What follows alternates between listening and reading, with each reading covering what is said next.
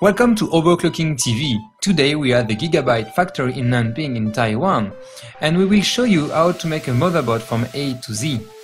A motherboard uses a lot of components and all of them are assembled on a PCB. PCB means printed circuit board and this makes the final mainboard you all know that is in your PC. The PCB arrived from another factory and the first process is to solder on the board or the SMD. SMD means surface mounted devices. SMD is a term used for all the components that don't have pin going through the other side of the PCB but have the electrical connection on the edge like the audio chip or below them like the chipset.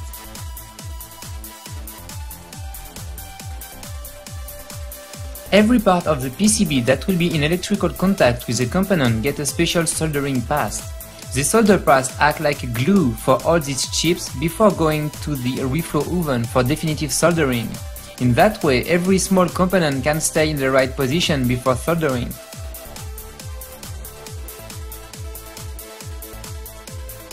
As you can see, solder paste is applied to only the PCB space where you will have a component.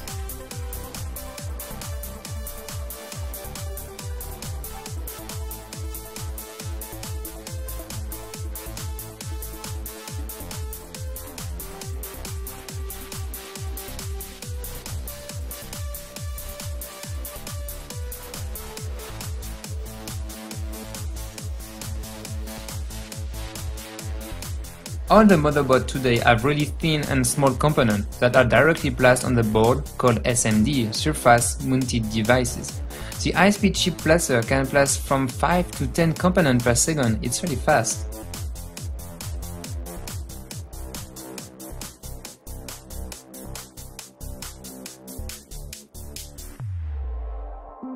Most of the components mounted in this machine are around a millimeters wide, and must be very precisely disposed on the PCB. Today, motherboards have components on both sides. The first side that go to the factory process is the back. Once the back side is done, a machine switches the motherboard to the other side and the process starts again to the SMT line.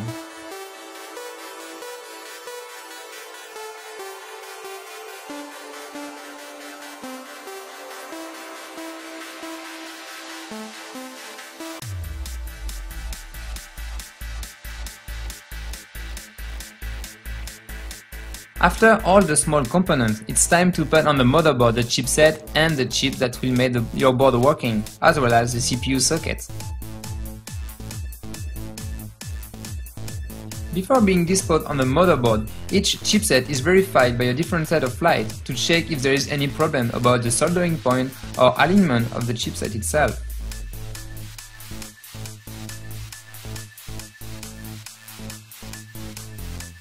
You can see the chips like audio, SATA and USB 3. They are disposed on the board directly by this machine, as well as the CPU socket. As example, all the chips bigger than your finger is placed by this machine. At this time, your motherboard has SMDs on the board and can go to the reflow oven for soldering. The soldering paste melt by high temperature and stick to the component and the PCB. The temperature goes up to 245 degrees Celsius by different level. At this point, electrical connection and mechanical connection are made. Your mainboard now have all the small resistors as well as the chipset and the socket. It's time for the visual inspection. This inspection avoid any misplacement or missing parts.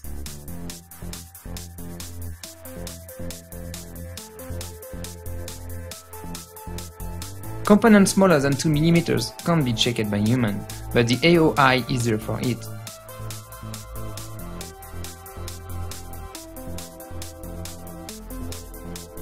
The automated optical inspection machine is checking if there is any missing or misplaced component. It's also checking the components that have visible soldering points like the audio chip.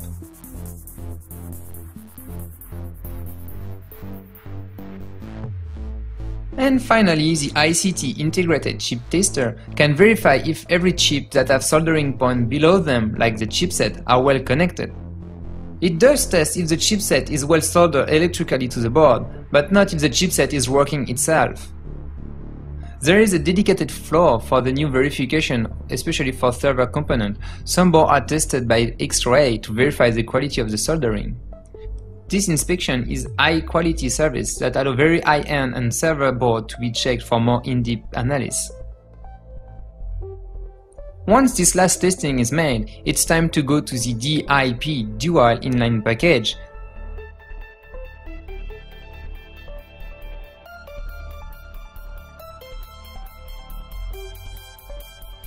The DIP stage is the second big important process when making a motherboard. First, you have a manual insertion. All the small component and the chipset has been added already. It's time to plug all the other components that have been going through the PCB. During this stage, all the components are manually inserted. You can see a long chain of employees inserting the in-out connectors, power plug, PCI Express, RAM slot and other the chokes and the solid capacitors around the CPU socket.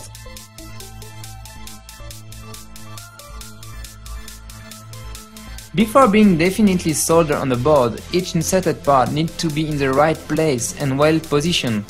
This is the goal of the inspection before the wave soldering.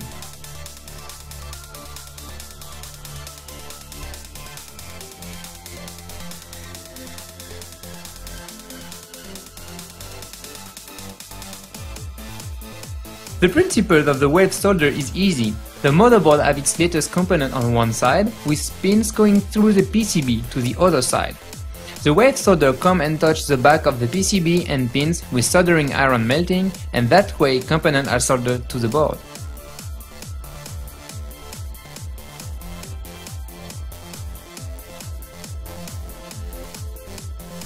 After the wave soldering process, you usually have residues that are cleaned with a large brush, making the back of your motherboard very shiny.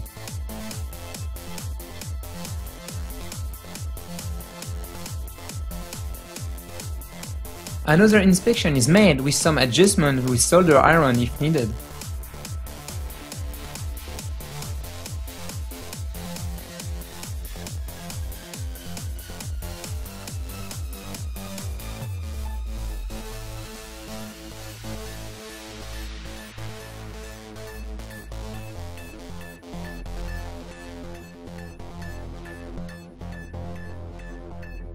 Then heatsinks are mounted on the board before another inspection and checkup by the ICT Integrated Chip Tester.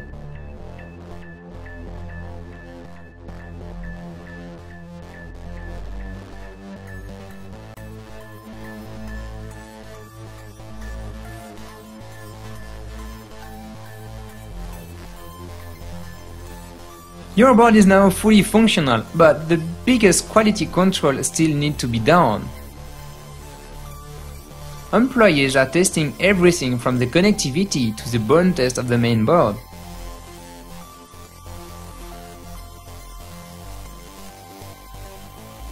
The function box allow easy switch on switch off of the component as well as the peripheral for the testing purpose. As part of the Gigabyte quality testing, 100% of the motherboard are tested in the factory. Basic to advanced functionalities are being verified.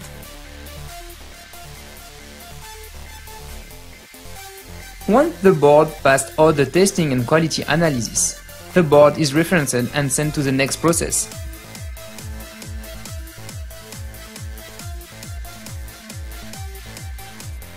This is the final step for your motherboard and this is the box you will see in the shop. At the factory the boxes are just flat, cardboard, but then quickly shaped by an automatic machine. Employees are sticking barcode and reference number on the boxes as well as the board, then scan the different serial number.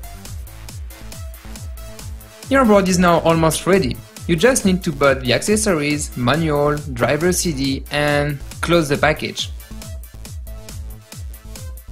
Each box goes to big packages that are weighted then strapped.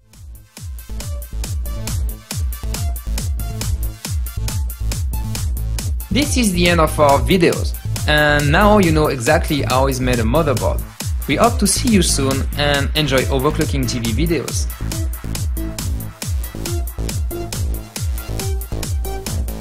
Hey guys, Truffman from Overclocking TV and we are in the Gigabyte factory and we just found something very crazy. Come on.